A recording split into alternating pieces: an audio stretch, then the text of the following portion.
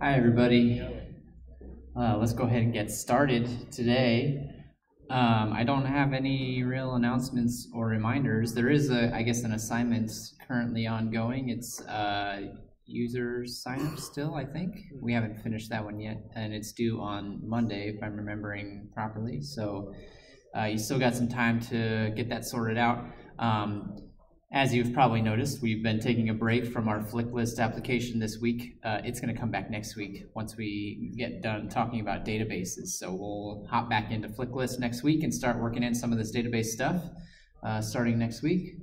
Um, but yeah, today uh, I actually is kind of a low key day. I don't know if that's because there's not a lot for us to talk about or if it just feels like there's not a lot for us to talk about compared to Monday uh, when there was a whole heck of a lot of stuff for us to talk about. I'm not sure. Um, but either way, uh, it's there was not a huge amount of information introduced today. At least I, I didn't feel like uh, today had a huge chunk of new stuff. But there is a few new concepts to talk about, and then you know the other major piece of today, maybe the biggest piece, was getting a database installed on your machine and set up so that we can actually start playing around with some actual SQL code. So we're going to spend some time doing that today uh, a little bit later. Uh, but let's just review uh, some of the few new concepts that were introduced. Um, what are some examples of some constraints? This was part of the W3Schools, I believe, uh, prep work for today. What are some examples of some constraints that you might expect to see used on a database?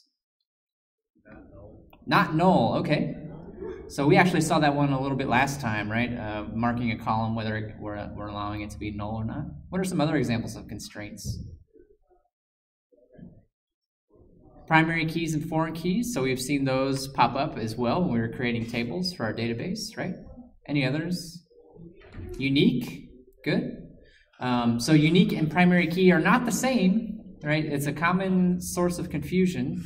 Primary keys are unique, but just because a column is marked as unique does not mean it is the primary key, right? I can have columns that are marked as unique that are not the primary key.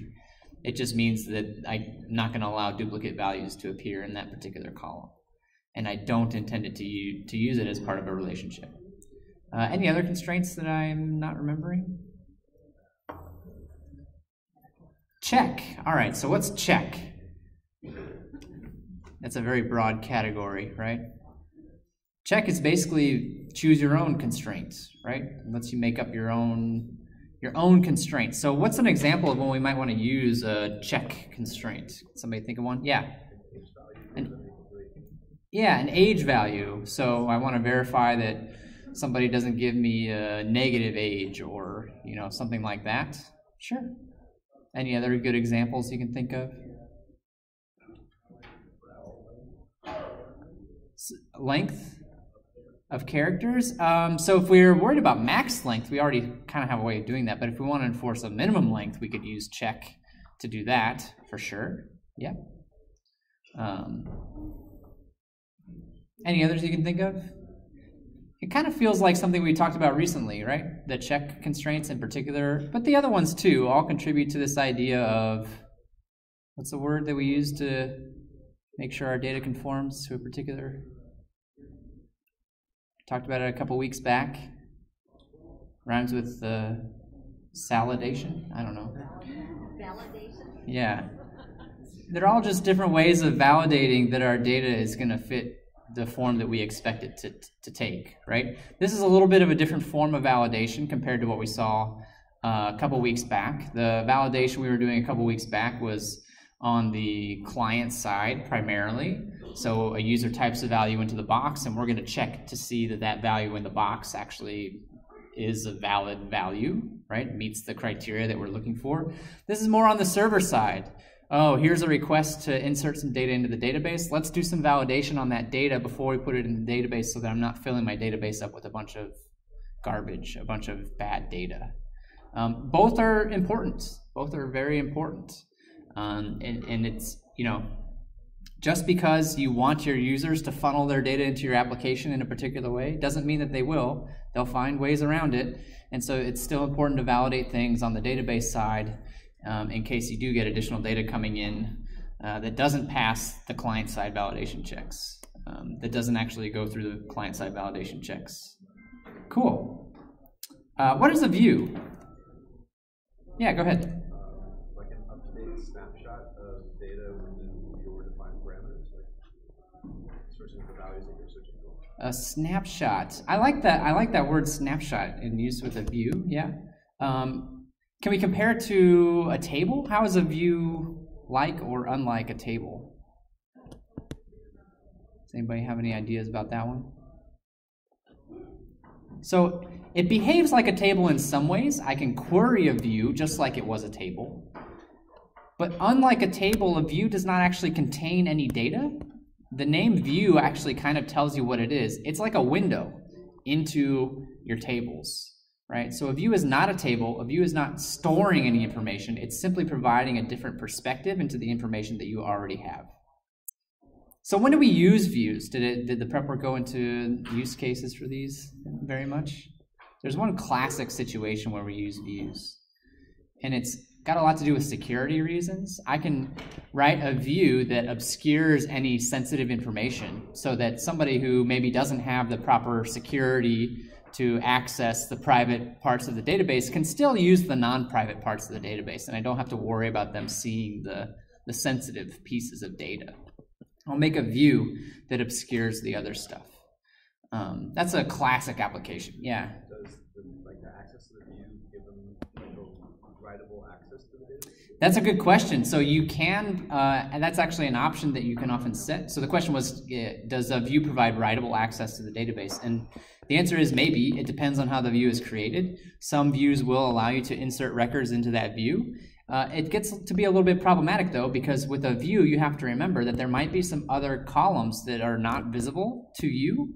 And so if I try to perform an insertion and those columns are expecting to have data, remember the data is ultimately going into a table, right? So for the columns that aren't present in the view, they are probably going to be set as null. And if they don't accept null values, then I cannot perform that insertion. Uh, but if they do accept null values, then a lot of times, yeah, you can insert stuff through the view. You just have to remember that if you do that, you're actually inserting data into the tables that the view is built off of, not the view itself. Again, the view does not contain any data. It's just a window into your tables, into your existing data. Um, they're very common, actually. You're going to see views sooner or later if you're ever working with databases. I don't think we're actually going to use them that much in this class, as a matter of fact. Um, but uh, they are certainly a very common tool that's used. So it, it will pop up eventually. Yep. Um, all right, what is SQL injection? I feel like we've talked about this a little bit before, but let's talk about it again. Yeah. Uh, malicious code Yeah, so I, I have a text box that I want people to give me some data, and instead of telling me uh, the name of their pet or whatever I'm asking them for, they type in some SQL code, and that gets sent off to the database, and then the database, you know, tries to put that into the database or whatever it wants to do with it, and actually ends up executing whatever they typed into the into the box. It's a it's an attack. It's a security risk. It's probably one of the most famous computer security risks um, out there um, in the world. Uh, how do we stop it? How do we prevent stuff like that from happening? How do we how do we keep it from happening? It's a t- topic that we've actually already kind of talked about. Yeah. Escaping, yeah, escaping. Same kind of thing that we would do for HTML. Um, we saw a few weeks back, or maybe it was just last week actually, where if I typed some HTML into the box, it would actually present that HTML as if it was part of the page, right? And make the page look strange. Um, and to fix that, we just escaped it. And the same thing will work for SQL injection. I can escape those characters and have them treated as uh, non-code characters, and um, that will that will do the trick. But you do have to remember to to do that. It's a very important part of um, any application that works with a database. It's the responsibility of the developers to make sure that uh, they are aware of the the dangers of SQL injection. Uh, the good news is it's a very well-known problem at this point, a well-studied problem. It's been around for a very long time, since the very early days of the internet, or maybe even earlier than that. Um, so it's not a new problem by any means, and there are lots and lots and lots of resources out there to help combat against uh, SQL injection these days. Um, yeah, so actually that was the that was the, all the list of topics that I have. Uh, I do want to switch over and do some actual SQL coding with the database today, but before I do that, uh, I'm happy to take a few minutes to talk about um, any additional concepts from today's prep work that you were hoping I would discuss, or if you want to go back and talk about stuff from Monday, because I know there was a lot of stuff on Monday as well, I'd be happy to talk about anything uh, database related um, at this point in time. If anybody's got questions about particular SQL concepts or things that they ran into as they were working on the prep work, I'd love to have a conversation. If there are any takers? No? Going once? Alrighty then. Well, uh, today is kind of a, a, a, big day. It's a fun day, in my opinion, an exciting day because um, if you completed the prep work, you've got a database on your computer now. If you didn't get a chance to finish the prep work or you ran into some problems, um, that's okay. Flag me down after we get done with lecture, and I will help help you out. Make sure that you get that stuff squared away, or talk to your TA. We'll make sure that you get that stuff squared away um, so that you can uh, continue on. Uh, we are going to still be using it um, next week when we go back to FlickList. We're going to need the database uh, when we go back to FlickList next week. So it is important that you get it done today uh, if you didn't manage to do it before class. Um, so let us know if you need some help. Um, but what I'm going to do real quick is um, walk you through how to set up a database in MAMP and uh, then we'll run some queries. We wrote some queries in class last time, but we weren't actually able to check and see if they worked or not. Well, today we'll actually be able to check and see if they work. We'll be able to see if those queries do what we thought they were going to do. I suspect we might find some mistakes that we made, and that's okay. We'll take a look at that and see if we can fix them uh, as we go through today. So uh, I already had MAMP up and running, uh, but if you don't and you want to follow along, uh, go ahead and start up MAMP and make sure that it's up and running. You can see mine's already started up. It's already uh, running. I actually use MAMP a lot at work as well. I use MAMP all the time. Um, my version is probably a bit older than your version, so if it does look a little bit different than what you've got, um, that's why, although I don't expect that it's going to look that much different than what uh, you have on your computer. And so I want to get access to the database, and the way to do that is through PHP phpMyAdmin. And so in order to open that up, there's a button here that says Open Start Page. So I'm going to go ahead and click on that. It's going to take me to my browser. And I get this little welcome page from MAMP. I, I imagine yours looks at least somewhat similar to this. And up at the top, there's a menu item called Tools. If I click on that, I see there's an option called phpMyAdmin. That's where we're going to go next. And so here it is. This is how we can interact with our database. On the left side here, you can actually see that there's, uh, I already have a, a bunch of database, bunch of databases on my computer. Some of these are old LaunchCode databases. Some of these are databases that I use in my classes on campus. Some of these are databases just for random apps that I've been working on. You probably don't see that many things over here. You might have a couple. Um, but I wouldn't expect you to have a whole list like this, and that's okay. That's not a problem. What we're going to do right now is we're going to make another database, um, mostly just for practicing SQL. Uh, and then next week we'll make a database for our FlickList application, but we're not going to do that today. We'll we'll save that for next week. Um, so today we're going to make a, a basic uh, database, and actually every database also needs a user account associated with it. So actually, the way to create a database, there's multiple ways of creating a database, but the way that we are going to create a database is actually by creating a user account.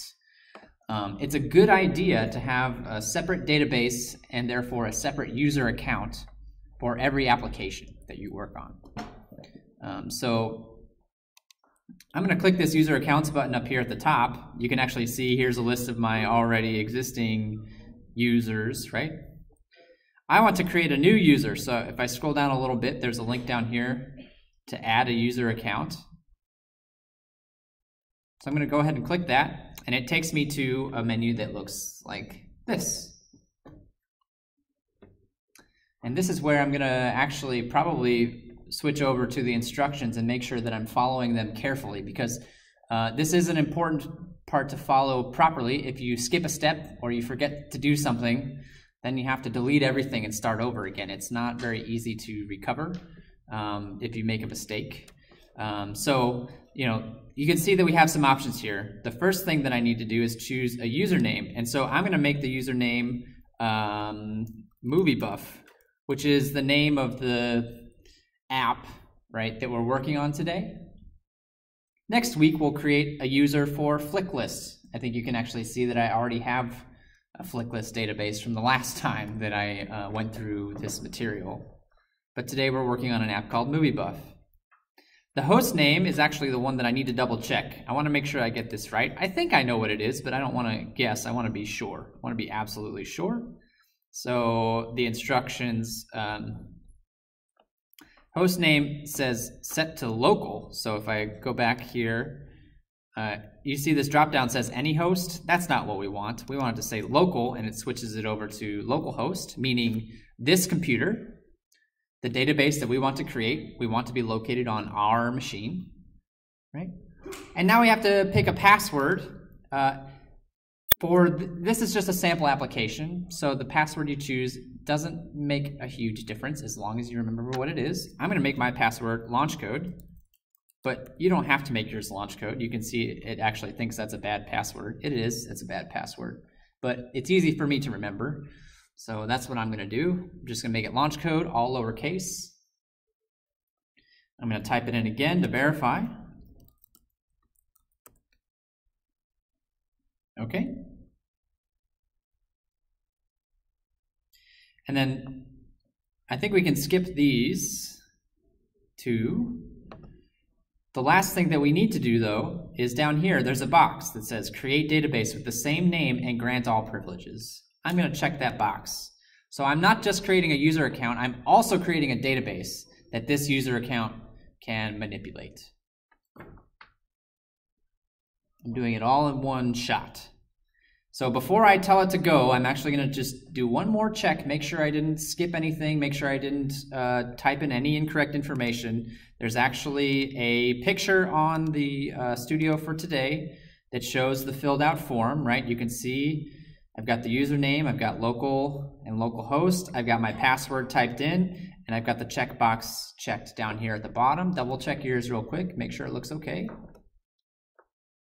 Again, if you if you do make a mistake, if you forget something or you skip a step, um, it's not the end of the world, but you do have to delete everything and start over again. So it's a little bit of a of an annoying thing to, to have to deal with. All right. I'm going to go back to the page here. I am pretty satisfied that I have everything set up properly, so I'm going to go down to the very bottom. You notice all the other options that I skipped here. We're not even going to touch that stuff in this class. We're just sticking with the basics. There's a go button. So if you're confident you've got everything filled out properly, we're going to hit that button, and hopefully you get a successful message like this. And if I look over on the left, I should see that I now have a database called MovieBuff everything worked out the way uh, it was supposed to. Should have got the green check mark with the success message, and you should see a database on the left side called MovieBuff now. But there are no tables. There's no data in the database. It's empty. It's brand new. We just created it. There's nothing in there. So if we want to do some stuff with it, uh, we need to get some data in there. And there's a couple ways we could do this. I could actually write SQL code to make some tables and insert some data. In fact, we did that last uh, Monday. And if we wanted to, we could actually plug those queries in.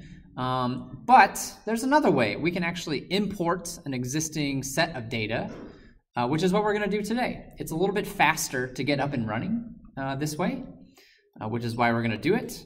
Um, and then once we have some data in there, we can kind of play around with it a little bit, write some queries to get some data back out. So uh, if I go back to the studio page, you can see under this import tables from SQL, there is a SQL file presented here called moviebuff.sql. So if I click on this, it downloaded it to my machine. I want to open this file up and take a look at it real quick, just because I can.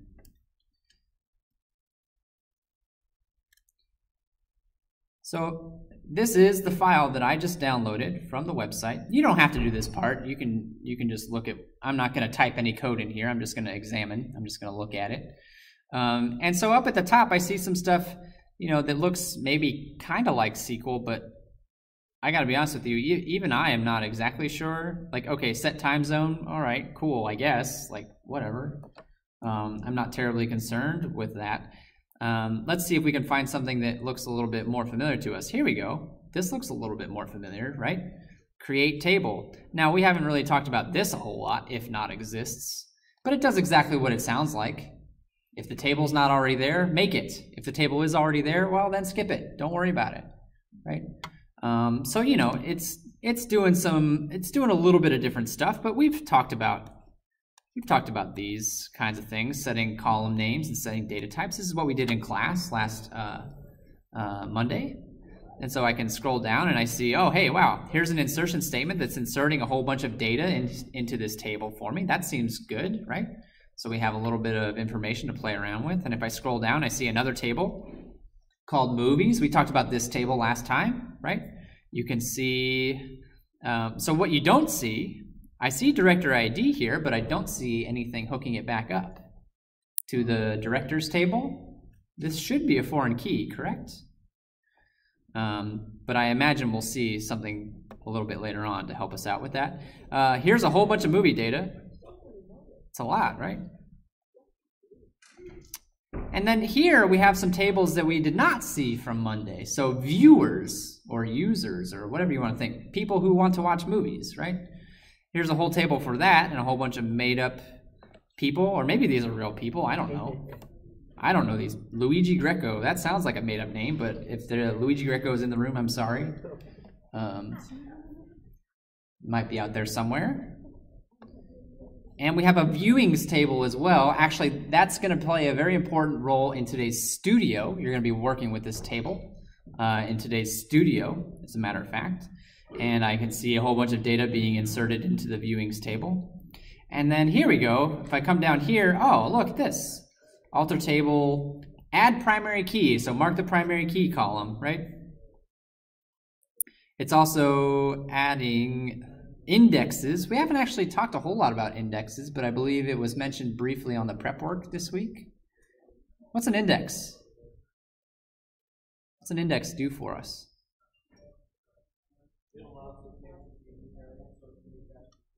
Faster sorting, faster lookup, faster searching. Yeah, that's the big one. Uh, it's the name comes from the like an index in a book. If you take a book, you flip to the back, you see the index, right? With all the lists of important terms and the pages that they appear on. It's the same concept. I'm going to make an index for a table that lists the terms that appear in a particular column and where they show up in the table so that if I'm looking for a particular term, I don't have to search every single row until I find it. I can just go directly to the spot where it is and look it up that much faster. So it's a performance thing. So it's making some indexes, right, as well um, for this. And, oh, setting some auto increment stuff. That's cool. Uh, adding some constraints. Foreign key. There we go. There's our foreign key constraint. And I've got some more foreign keys for these other tables. And actually, that's it. We're done. That's the whole file. So there's some stuff that I kind of glossed over that we haven't talked about a whole lot. And, and there's some stuff in here that's maybe still looks a little bit foreign to us, and that's okay. Uh, but for the most part, we kind of understand what's going on with this table or with this with this uh, SQL code, right? Here's a little secret, or maybe it's not that much of a secret. I don't know. Uh, this code was not written by a human being; it was written by the computer. Um, somebody set up this database um, on their machine. Some some LaunchCode employee. I don't know if their name's on it. Nope. Uh, it was probably Chris, if I had to guess uh, set up this database on his computer and then said, uh, I want to export this out. And so the computer wrote all the SQL code that it needed to to recreate the database on somebody else's machine. And that's what we're looking at right now. We can now make a copy of this database on our computers um, by importing this SQL file, which is exactly what we're going to do next. That is our next step, is to import this SQL file. So hopefully you downloaded this file the next thing we're going to do is we're going to go back to our PHP my admin, and up at the top there should be an import tab. If you don't see it, you might have to look under more on the right side here. But there should be an import tab. Here it is. So I'm going to click on it. I want to import a file, so I'm going to click this choose file button, and I'm going to navigate to where I downloaded that file. So here it is. It's in my downloads folder. Surprise, surprise. I'm going to open it up. I'm going to scroll down to the bottom here. Uh, let me double check the instructions real quick and just make sure that I don't need to check or uncheck any of these boxes. want to make sure I get this right. Leave all the defaults. Okay, cool. Perfect. So you'll have to download the file. The link to it's right here on the studio for today on the walkthrough. So you have to download this file. And then uh, wherever you downloaded it on your computer, mine was in my downloads folder, but you know you can put it wherever you want. Wherever you download it, just go to the import tab on uh, phpMyAdmin, tell it where that file got downloaded to, and we don't. It says we don't have to touch anything else on this screen, so I'm going to trust them. I'm going to trust that we don't need to mess with any of the other options on here. And I'm going to scroll down. I'm going to hit this go button and it should create those tables for me and insert that data into those tables for me if everything works the way that we expect. Uh-oh. Uh, no database selected. Whoops. Uh, I think I screwed up. I think I skipped a step. I did skip a step. I skipped a very important step. I needed to click on the database before I did the import. Whoops, my bad. I don't know if it created those tables somewhere else. I guess I'm not really concerned about it. I'll fix that later if that happened. That was my bad. Um, I guess I skipped that part of the instructions. All right, let's try it again. I, I clicked on Movie Buff this time because that's where I want the data to go. Now I'm going to click on Import again, and I'm going to choose the file again. And I think we're going to have better luck this time, I hope. Oh, that looks much better. All right. Whew. Sorry about that. You'll only do that a few times before you remember to not do it that way in the future. That's how most things work.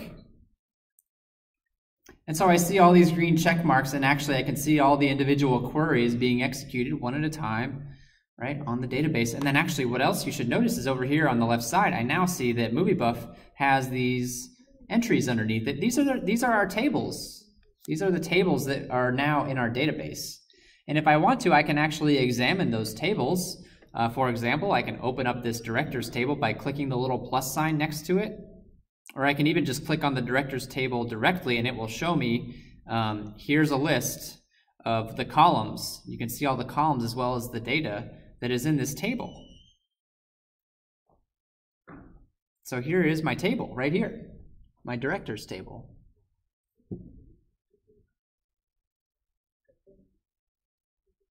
Right? And so you can take a look at some of the other ones as well. Um, another neat thing that you can do actually with uh, phpMyAdmin, this is a little tip that's not in the prep work uh, as far as I know. Um, underneath my menu in, uh, um, so I clicked on Movie Buff, I clicked on the Movie Buff database, and if I go up to more, there's a little tab down here called Designer. And if I click the Designer tab, I actually see a visual representation of my database, as well as how the tables are connected with one another. So I actually can see the primary keys and the foreign keys. The primary keys are marked with a little yellow key, and the foreign keys you can see have a line drawn from one table to another table. So this is a great, great, great way to get a visual representation of the structure of your database.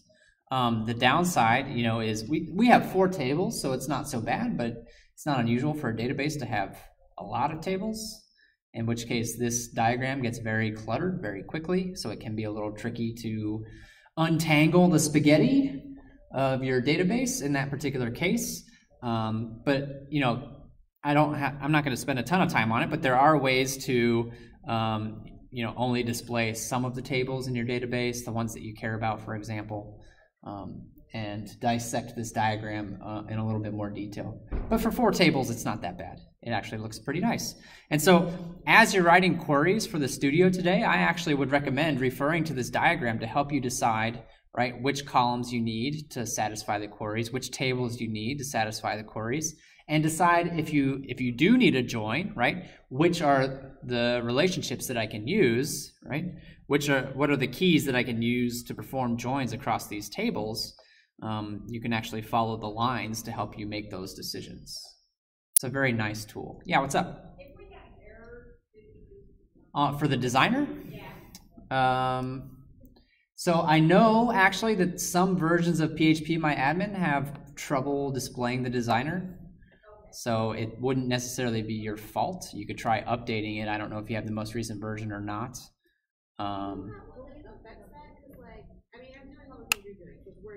uh-huh.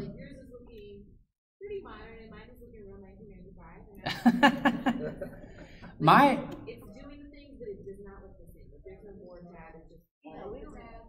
Oh, so well, so I have a more tab because I zoom in because I like to make the text bigger for you all to see. If I zoom back out, it'll you can see it's starting to add tabs as I zoom out, right? Oh, really? Did they, I wonder if they took the designer out or renamed it or I don't know.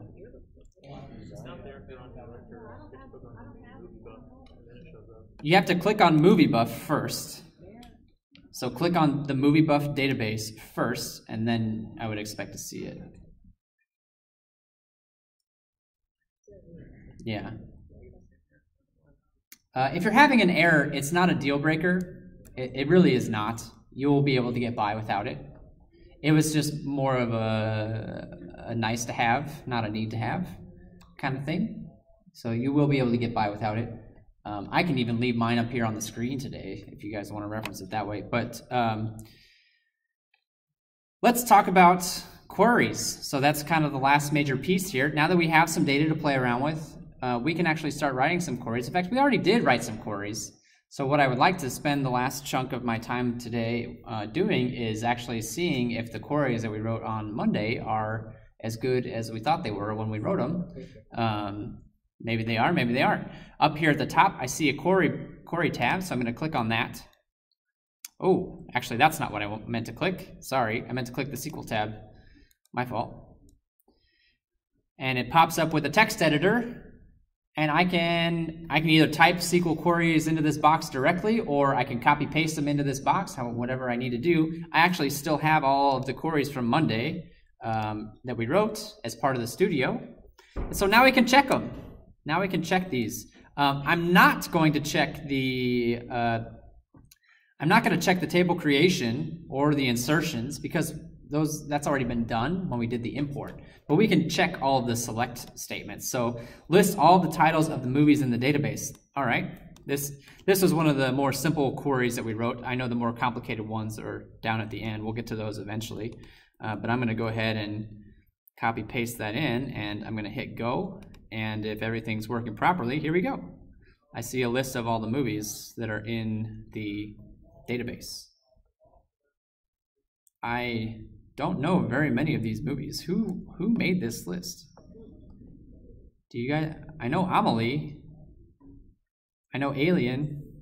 I don't know. Oh, Seven Samurai. That's a good movie. These older movies? Yeah. Okay. Fair enough. I'm not going to judge. Um, so that query seems to have done exactly what we expected it to do, right? Let's try another one. Uh, we want to list all the titles in the movie in descending order of the year that they were released. So let's grab this query that we wrote. Uh, I need to go click the SQL tab again, paste it in. I got you. All right. Oops. What are you doing to me here? Sorry. Click the database and then the SQL tab. Sorry.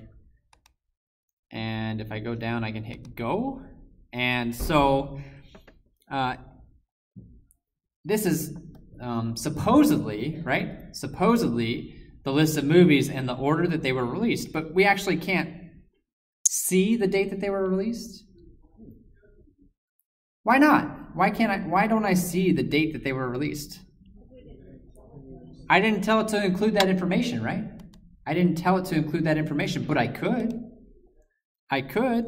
It wouldn't even be that difficult of a modification, right? Just need to stick the year on here. And that will help me verify that it's doing what I expect it to be doing. So if I stick the year on here, oh, there we go. So they're not all older movies. They're but there definitely are some older movies on this list. Woo! Going way back. Yeah. So that looks like it's actually working the way I would expect it to be. Um, cool, let's keep going. Let's try some more. I'm not going to do the insertions because I actually think this is already in there. I thought I saw it when I was looking through the data. So I'm not going to do the insertion, but I can get the director ID for this guy. So where last equals Jeunet and first equals Jean-Pierre. So let's try that and see, see what happens. Click on the database, then click on SQL and paste in my query. Yeah, what's up? Ah, thank you. Thanks for the tip. Life is easier, yeah. All right. Uh, showing rows 0 to 0. Whoops, something didn't go right. I'm not terribly surprised, right? Something did not go the way that we thought it was going to go. So let's figure it out. Let's see if we can figure out what the problem is. Um, you know, I'm trying to find the director ID for this director. So Uh, maybe I misspelled his name. That's probably my first guess is that I just didn't type his name in properly. Let's double check it. I can go to the directors table and I can actually see the contents. Here's the guy, Jean-Pierre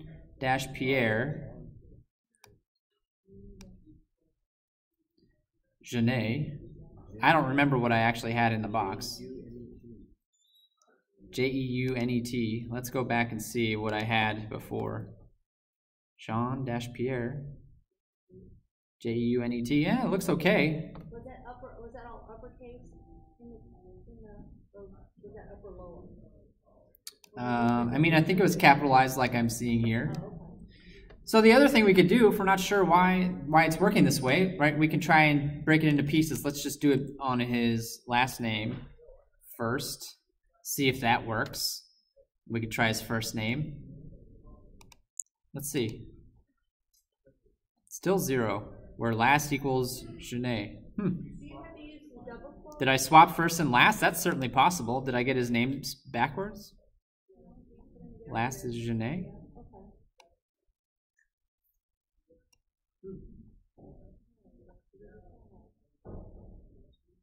Um, This kind of stuff happens. This kind of stuff happens.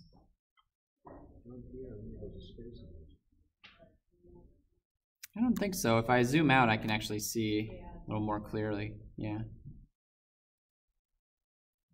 Hmm. I mean, I'm not I'm not overly concerned yet with this. Let's try his first name since the last name's not working. I guess I'm a little skeptical that the first name will work too, but well, I mean, I don't think the semi if the semicolon was the problem, it would have told us that the semicolon was the problem. What about a double quote instead of single?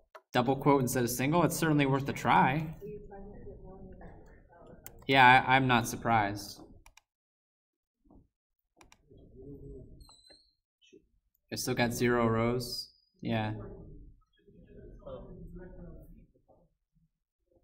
I'm sorry? Oh, it, it is working. Here it is. I guess I just wasn't seeing it right. Sorry. My bad. Director ID is right here. It's right here. Why does it say showing rows 0 to 0, one total? Okay, that's just a confusing statement. That doesn't make sense to me. Does that make sense to you? Am I the only one who's confused by that statement? Row zero, yeah. I, I'm a computer programmer. I should know stuff like this, I guess. You would think. You would think. Uh, so our original query probably actually worked, and I was just blind this whole time. Yeah, there it is. It worked. My bad. Cool. That's all right. So his director ID is one. Perfect. We found it. Um, and so the next question actually told us uh, uh, that's an insert, so I'm going to skip it actually. So uh, I can list all columns for all records of the director's table um, in order of the director's country of origin. So, all right, let's check this one out and see see what's going on with this one. And then we'll get to some with the joins, which I know is what you are looking forward to. This looks good. F and then J, N, N, U. Looks good. I believe the ones that we have left involve joins. They do.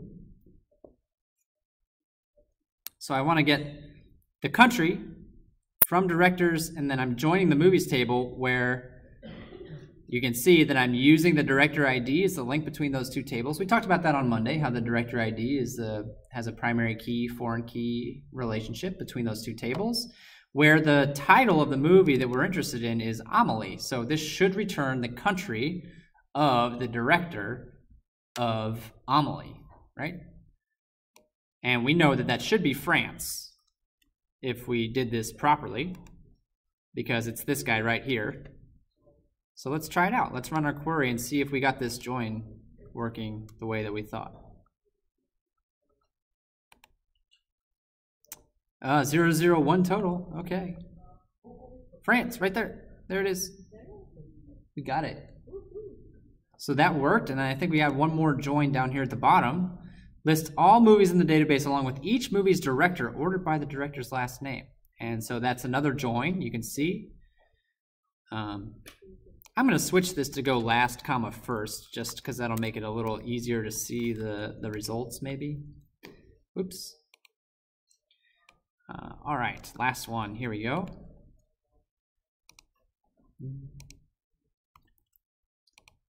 Order by last. And I'm going to hit go here. Oops. Maybe. Please. Thank you. All right, here we go. And you can see the last name. It's in alphabetical order, as you would expect. So all of the movies, you can see that some directors are showing up multiple times, right? Because they've taught multiple movies. Or in other words, one director can direct many movies, right? Just like we ex would expect. It's a one-to-many relationship. So one director is directing many movies, in a few cases anyway. You can see that they appear to be in order by last name, right? So it looks like it worked, which is good. We got it.